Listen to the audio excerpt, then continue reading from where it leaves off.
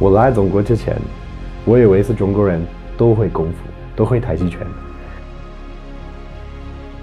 哎呀，其实不是，但是我还没来的时候我就不知道，我可能就电影看多了，但是我对这个武术特别感兴趣。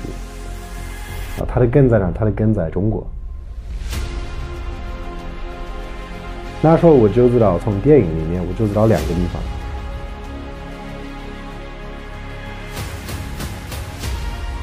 我知道一个小林寺，还有一个武当山。武当山对我来说是可能比较感兴趣，因为它还有太极拳，它还有内家拳，是吧？还有外家拳，嗯，有一个系统，还有治治水，还有这个这个道家文化。我那时候就完全不知道是什么，但是我特别感兴趣，所以我要找了一个地方。更好，你可以说有一点缘分，我找到一个师傅，他准备开一个国际全套武术班，啊，这个班的时间是五年的时间，啊，所以我报名，我过来了，我开始练。这个时间是特别难，每天跑步、压腿练步伐、踢法、套路、兵器、太极拳、打坐。都特别难，其实对我来说，我身体不这么好，嗯，灵活性、柔韧性很差，所以这个慢慢慢会进步，会好一点。然后我就开始特别喜欢爱的这个这个东西。我到第三年，我跟我师傅拜师了，所以我现在是三分派是六代的传人，毕业了，在二零一四年毕业了，然后我们这个班就结束了。我们我们都回我们的家，我回美国是吧？然后我就开始教别人啊，教别人太极拳、武术。但是我这个时间在美国，我还觉得我还是继续学习，因为这个武术是很深的东西，也不是就是说它是身体里面，它还有道家文化，它还有止水，它还有《道德经》《黄帝内经》《庄子》。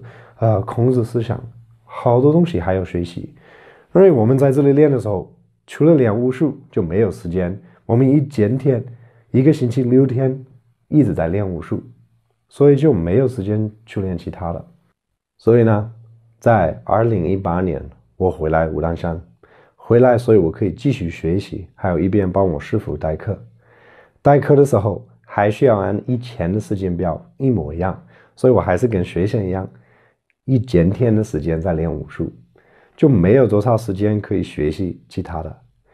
我要学是中国传统音乐啊，我选的乐器是洞箫，因为洞箫它是最方便，你可以拉一根出去，然后下课之后可以坐那开始吹一下，开始练啊。就这个古琴、古筝这个乐器都都不是很方便啊。我我后面学一下，但是第一个是洞箫。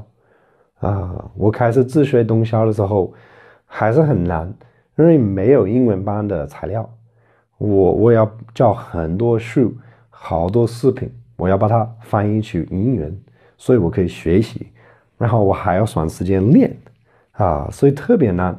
我那时候差不多去什么地方都都都来一根洞箫，啊，去什么地方都练，所以我我我我学生都慢慢看我啊进步。然后觉得哦，慢慢来，好好听一些，他就问我，我可以教一下他们，因为他们都特别感兴趣学这个东西，我也喜欢分享。我在想，我要不要写一本英文版的书，所以他们可以跟着我一起学习啊。所以我把我收藏的曲子，我选的一百零八个曲子古曲啊写下来，还有怎么吹响，怎么练东箫，还有怎么看简谱。啊，然后我写这个入门洞箫的书，啊，现在他们都跟着我一起学习，我觉得这个还好，可以分享这个这个音乐，啊，也也也可以培养我们的武术，还有我们传统的思想，啊，因为我现在我觉得我还是带一个桥，好，分享这个文化，谢谢大家。